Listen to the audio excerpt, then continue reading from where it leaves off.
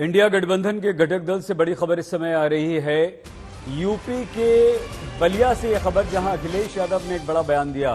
Samajwadi party के पूर्व मुखिया अखिलेश यादव ने कहा कि इंडिया गठबंधन में सीट शेयरिंग, अगर राहुल यात्रा, राहुल की यात्रा से पहले, न्याय यात्रा से पहले बंटवारा हो गया तो हम साथ में हैं।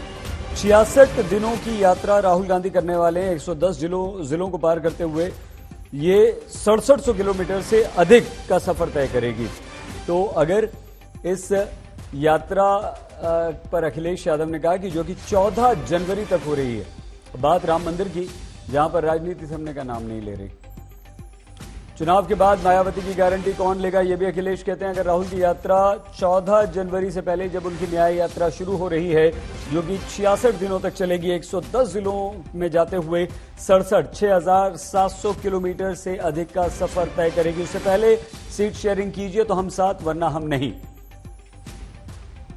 अभी तो ये कांग्रेस की ही यात्रा है। जितने भी देश के दल हैं जो कांग्रेस पार्टी के साथ गठबंधन करके लड़ना चाहते हैं हमें उम्मीद है यात्रा से पहले उन्हीं सभी प्रदेशों की सीट का बंटवारा हो जाएगा जिससे लड़ाई और मजबूती से लड़ाई लड़ी जा सके। सर ये इस यात्रा में आप शामिल होंगे सर? राहुल गांधी की यात्रा में मैंने यूपी में? आपके सवाल का जवाब दे दे दिया है। यात्रा हो अच्छी बात है लेकिन सभी दल ये चाहते हैं यात्रा से पहले टिकट बंटवारा हो सीट बंटवारा हो।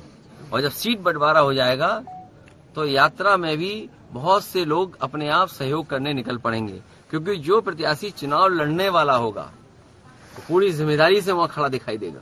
बहुत जल्दी। और समाजवादी पार्टी तय कर देगी बहुत जल्दी। समाजवादी पार्टी और दलों को भी साथ लेकर के बहुत जल्दी फैसला ले लेंगे। अभी सूर्य को उत्तरायण में आने दो। सूर्य को उत्तरायण में आते ही सब फैसले हो जाएँगे।